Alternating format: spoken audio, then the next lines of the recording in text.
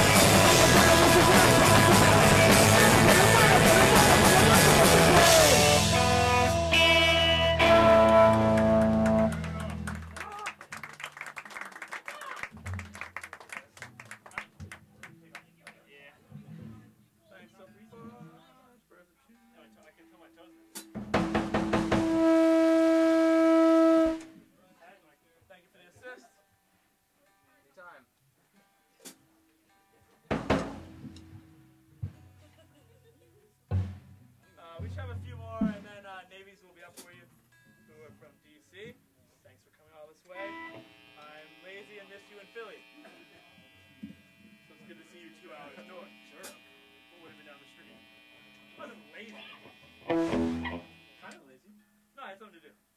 Like, I think we played another show. Oh. That's not It's a different town. Oh, yeah.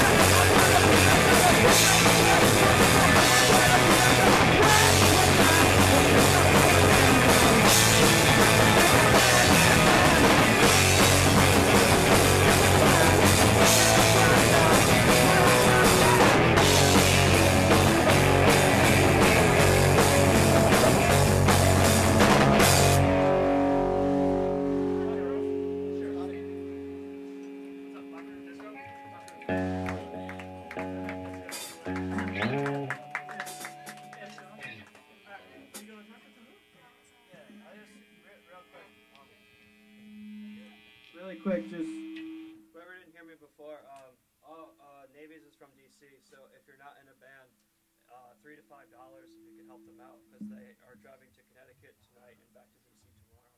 so if you could help out, just three to five dollars. We're driving to Connecticut.